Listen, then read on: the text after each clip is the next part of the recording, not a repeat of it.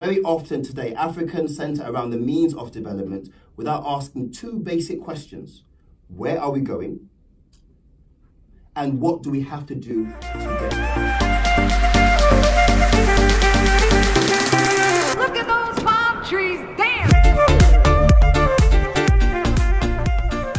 So now I'm going off to a Black History event that I'm speaking at and it's super exciting so hopefully I can share more about that when I get there. It's hosted by Shell and BBC, part of their Black History Month like episodes. Um, so yeah, it's gonna be loads of employees from those companies and also from the ecosystem. And I'm gonna be speaking from like a as a black woman in general and from a tech background.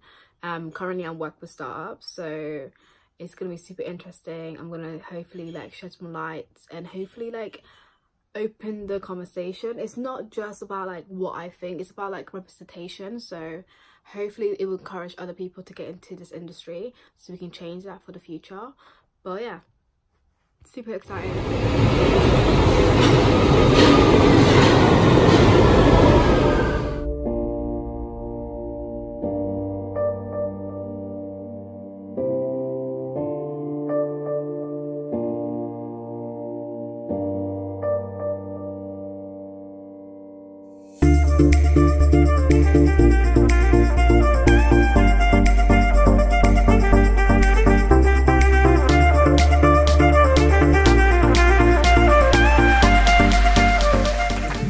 Before me now, just to clarify something, okay? Oh, I'll just in. Just give them a round of applause. why not? Why not?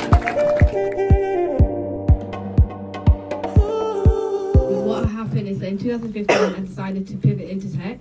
Previously, I wanted to get into politics because my parents are from Somalia and they wanted me to go back home and you know change the economy down there and try to empower people to